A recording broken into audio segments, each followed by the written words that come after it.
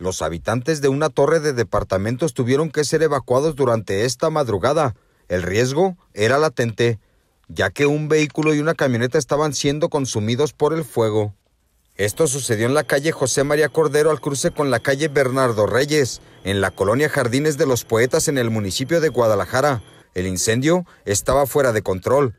Además, había un derrame de gasolina, lo cual complicaba la situación.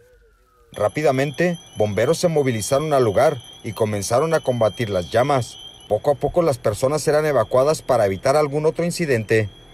Luego de 30 minutos de maniobras, el incendio quedó controlado. La dueña de uno de los vehículos indicó que ella sospechaba de que se trató de un acto de vandalismo, por lo que dio su versión a policías para las investigaciones necesarias.